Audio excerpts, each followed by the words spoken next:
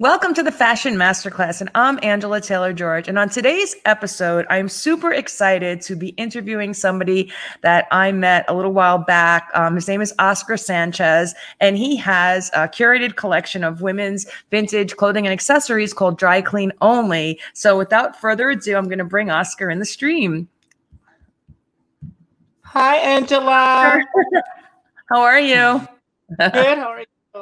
I'm good. So great to have you here with me at the Fashion Masterclass. So I just want to say I I met Oscar. Um, I was selling off things in my design studio, and Oscar came in, and that's when we first met. And he bought some hangers. I remember, I think he came back again twice, and then and then he got some fabric that he used in his Instagram feed with his clothing. So that's how I met Oscar. And I just want to say, um, it was really when I began to see that there were so many creators, like makers and creators and designers out there in New York City, because a lot of times we always think of like the mega brands and you know, just like the big names and the Calvin Kleins of the world and things like that. But to yeah. really see that there was such a great creative community that was right there was really an eye opener for me. I'm super, super inspiring. So I'm so happy to have you here with me today, Thank Oscar.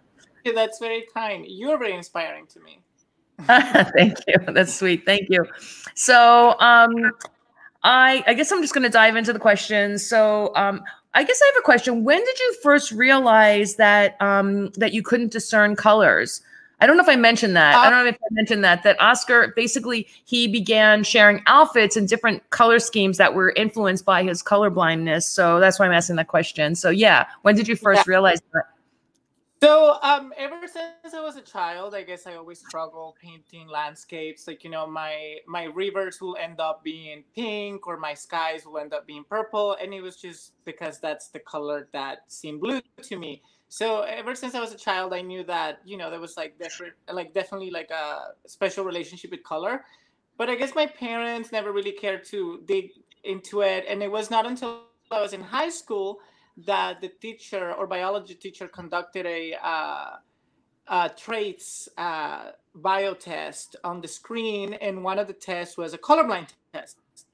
So uh, I remember that's how I found out that I was colorblind because she tested me on colors, and that's where I got my answers from. You know, why all those years I had I had trouble differentiating certain colors. So yeah. Wow.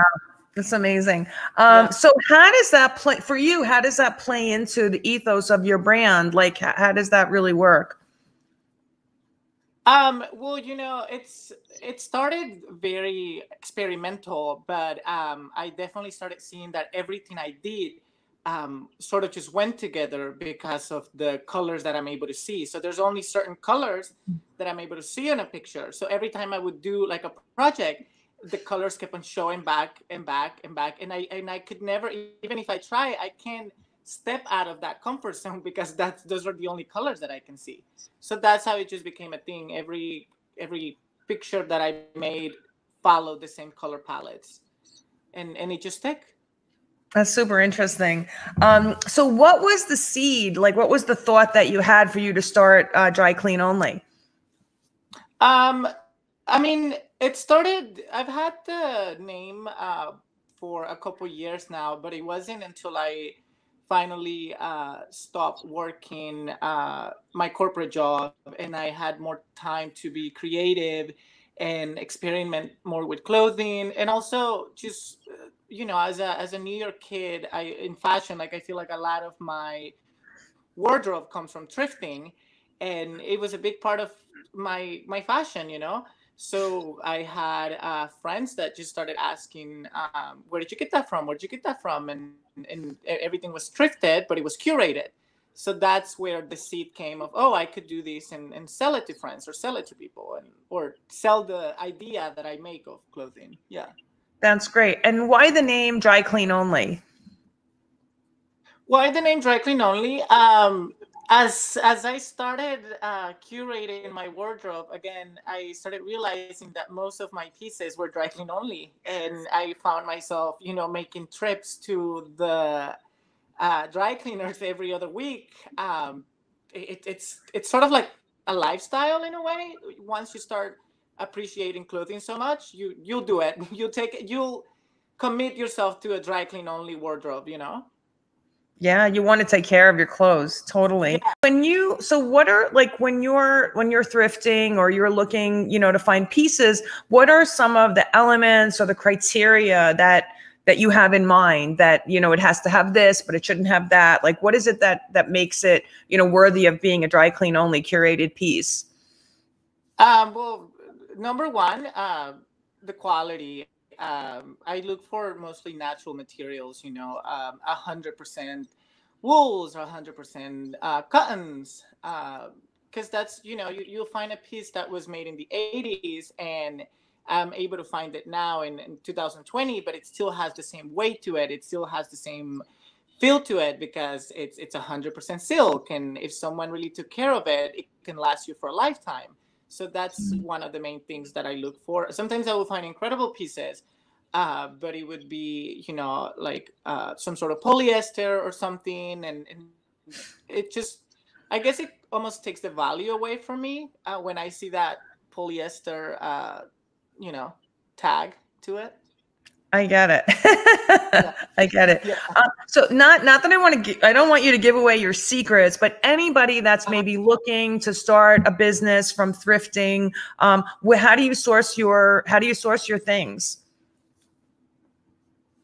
Um, it's a lot of research that goes into it. A lot of um, I think that's actually the most fun part of it, the the sourcing process, because you could just walk into any mom and pop thrift shop and just you know spend hours looking for something and you might walk out with the piece or you might you know anywhere in the world you will find a thrift store. You would find a secondhand clothing shop. So it's it's more about the the knowledge or your particular style that you have in fashion that allows i think eh, because I, I, have I, I know of other creatives that do the same thing i do but if you look at their stuff and you look at my stuff it's completely different. What they curate is completely different because of our personal style yeah, no, totally. Because I do, I mean, I do a lot of my own thrifting and I have for many years. Yeah. And it is interesting. It is interesting when you know you meet people that have thrifted and they have their own collection. Like people's collections have like a certain vibe. Like, you know, one person's maybe more boho, one person's more like straight 80s, one person's 90s. What and you could, yes, it's it's interesting how certain collectors can have definitely have a signature look within you know things that they're sourcing from all over the world so it i love that too and i love thrifting too it, i love the yeah. thrill of the hunt yeah totally um and why is sustainability important to you Mm, you know, it's to be completely honest, I kind of just fell into it. Uh, yes, uh, I'm, I'm, I'm gonna be honest. I, I you know, to be honest. to me, to me, thrifting became more of a way to, uh, you know, be able to make that runway look as a as a fashion student without spending the designer budget. You know, being able to go and, and find the same construction, but maybe from the 80s, but at a, at a more affordable price uh, so that's how it started. Later on, um, as it started developing, and as more brands are, are now becoming conscious of you know how to create a garment and how to make it to not damage the environment, and what you know uh, products, what uh, materials to use, or how to produce it. Um, and and I mean, dry clean only curating vintage. It's already you know giving clothing a second life so that, that's how i fell into it and, and it just it, it, works and it's conscious and and and when you tell people about it it gives them the feel of you know they're making a difference by dressing they're they're they're, conscious about their shopping so it, it just became now it's like a core part of what i do since uh, we give life a second meaning uh, with clothing yeah, that's amazing. No, I, I love that. Um, and is there like I guess I mean I don't know maybe I'm getting too like esoteric, but is there like a story that you hope to tell, like you wish to tell with your collection? Uh, with the collection, with the curator. Yeah. Um, yeah, I mean, I think it's again, it's it's a very personal feel when it comes to curating um, anything. I you know enjoy traveling and and taking inspiration from uh, buildings, architectures, uh, streets that I get to see when I'm traveling. So a lot of that actually translates in, in the clothing uh, because you know you go to a certain place and and, and everything is is it's a certain color or like certain you know i remember traveling to santa monica for the first time a couple years ago and, and i couldn't believe that how every house was just pastel and then i remember coming back and then i was like going to make a pastel color palette so then there's a story of a trip that i went to and i took all that architecture and put it into a collection that's super exciting and so thoughtful because you Yeah. wouldn't think that you wouldn't like usually you would think somebody would do that with like a collection that they were designing from scratch. But I love that you were able to take that inspiration and put it into the way you collected um, the, the clothing. So that, that's really inspiring Yeah. to hear. Yeah. Oh, Yeah, no, I I, like remember that. shopping around and and I kept on thinking of like the particular colors that the houses would be and those were the particular colors that I wanted every piece to be. That's so great. I love that. Um, so, I mean, through this process, through this journey, and you call it a project. Can I ask you? You you talk when we talk about it, you say, "Oh, it's a project I'm working on." What what? Why is it characterized for you as a project? What does that mean to you? Um, well, to me right now, it's a project because that's what I'm able to do with my color blindness, you know, and the way I see color, like my relationship with color. But I know that uh, just like anything, uh, it's a gift. Uh, a, it's a creative gift, so I know that I could do other things with it. And right now, I happen to be doing clothing and and you know be making uh, stories through through clothing color palettes. But I would like to take it into a more uh, expanded into something different maybe something that's like now it's a curated collection for home but it, it still follows a color palette. Or it's a curated uh, it's a curated set you know uh, i want to be able to create a, a maybe a movie set or something that just follows my color palette and the colors that i'm able to see. So i don't know you know but because fashion is constantly changing so i start i now I, I i'm starting with clothing and i'm experimenting with it and it's allowing me to move into other directions. That's why i call it a project because i don't think it's fully defined. You know i hope that maybe with with time and years i can say okay this is what dry clean only is. You know it, it's this it's that or it's just this in particular. Right now i'm just experimenting with clothing I love that. I love I love the way you're Yeah. framing it and what it means to you and that it's something that's evolving and it's alive and it can shift and change and become something else. I think that's really exciting. Um yeah And what yeah. And um what would you say have been your biggest challenges like in in you know creating this this collection that you sell? Um, I think it's uh, the biggest challenge has always been like where to go next. Uh, because like you would do something like when I started some when I started doing it, you know, and I did like the first capsule and it sold, and I was like, oh, this is so awesome! People re- are reacting to it. And then I started doing some consignment pieces or uh, some boutiques, and then that was also working. So it was it, the biggest challenge has always been like, where do I go next, and how do I know that this is the right thing to do?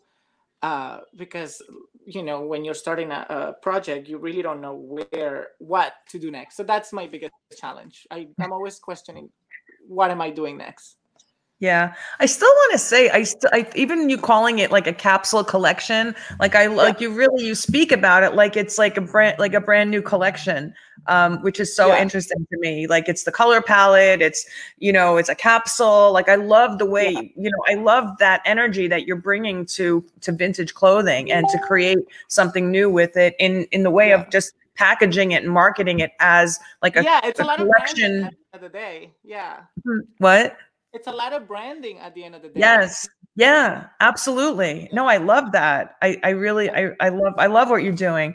Um, and what would you say, what would you say have been the greatest gifts that have come from you starting this project?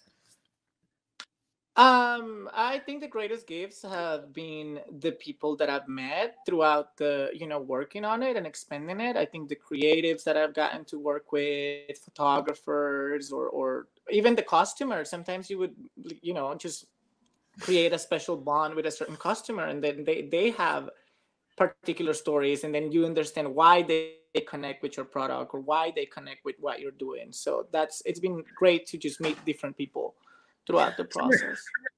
So when you say costumers, do you mean like people that are costume designing different films or TV? They're looking for clothing to um to wardrobe. Yeah, from Yeah. from from friends to particular people that need a certain piece or uh, anything, anyone, or or someone who's looking to collaborate and and they're interested in it and they want to photograph a certain piece from you know a stylist, from mm-hmm. anyone that's interested in what you're doing.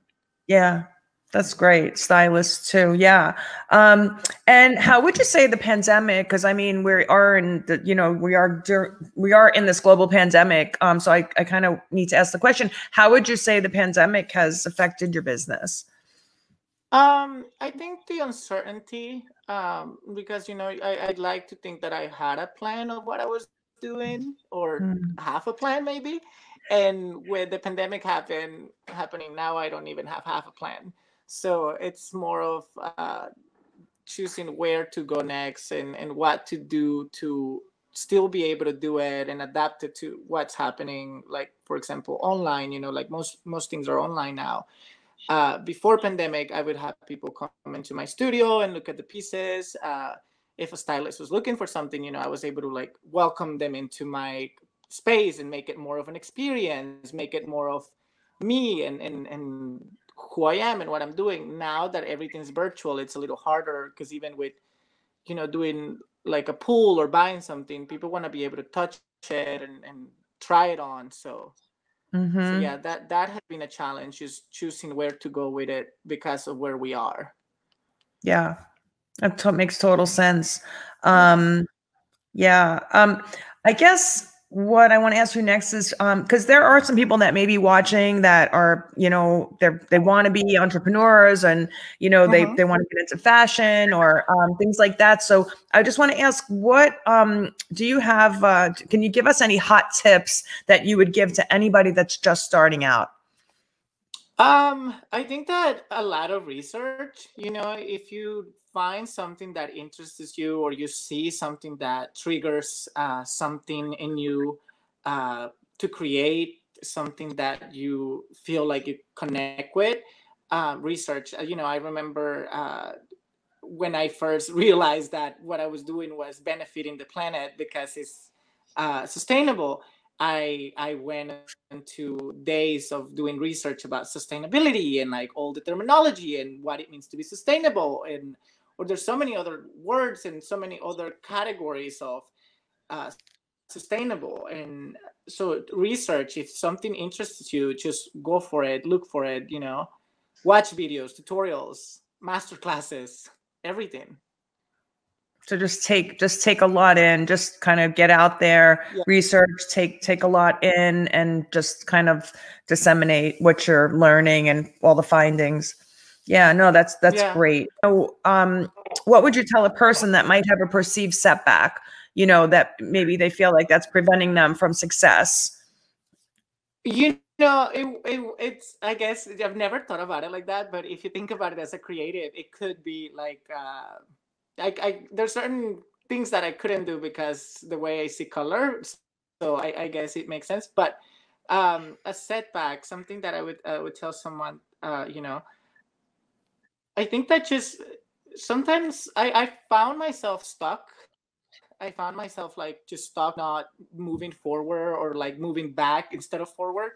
And I realized that it's really important, you know, as a creative or as any type of uh, uh, person that's trying to create something or or make something or start a project. Sometimes you need to take a break um, to breathe and and rethink what you're doing, rebrand yourself as I like to say it. Uh, because it's, it's, so important, you know, you can't just go, go, go. It's because, especially with starting a social media brand or anything that involves people's uh, likeness and thumbs up or double hearts, or like, you know, you're constantly waiting for that, like, social reaction to what you're making, that there's always the pressure of make, make, make, make, make, make and I don't think humans really work like that, especially creatives. Sometimes I need to take a long, long break until I can finally give you something that's, you know, me and it's authentic and it's not just made because of pressure.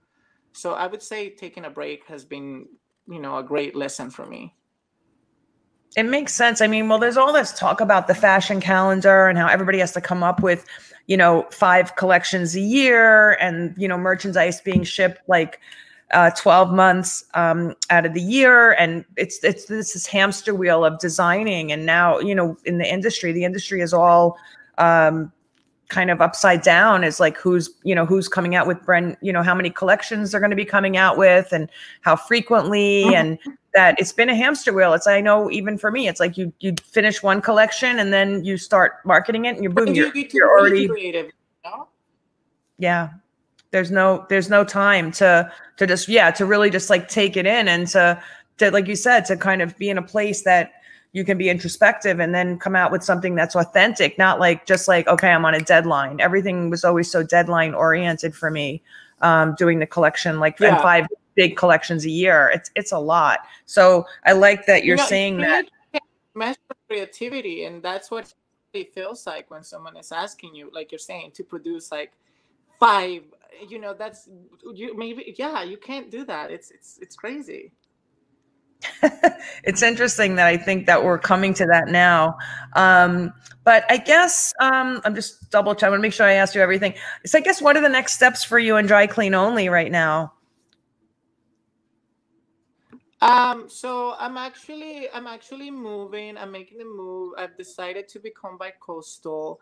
Um, not only because I hate New York winters, but also because I think to to to move somewhere else and to learn a different culture and, and define more of what I'm trying to do.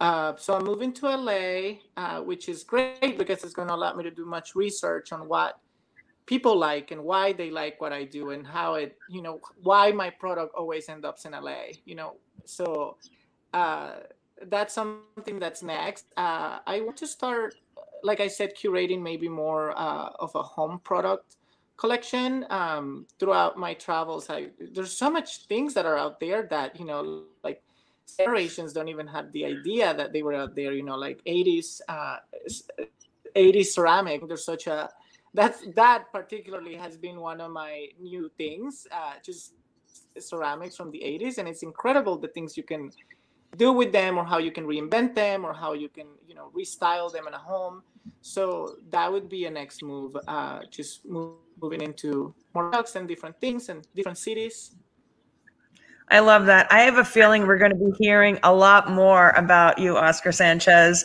I think you are hot, hot, hot, and just beginning. So I'm super excited to follow your journey. Um, where can people find you on social, like uh, uh, your outlets on social uh, media? On social media, uh, um, my main uh, page is Dry Clean Only NYC. And then for all of our uh, studio staff, uh, Dry Clean Only Studio. So that's Dry Clean Only NYC and Dry Clean Only Studio. Okay, I will drop everything. Um, I'll drop everything, all the links down into the comments, guys, so you could um, just click on the link in the description. So um, I'm gonna I'm gonna bid you farewell for one second, and then I'm going to um, I'm gonna come right back. So I'm gonna say thank you so much for this interview. It's been awesome. Thank you. And Thank you. I will. I'll probably see you in LA.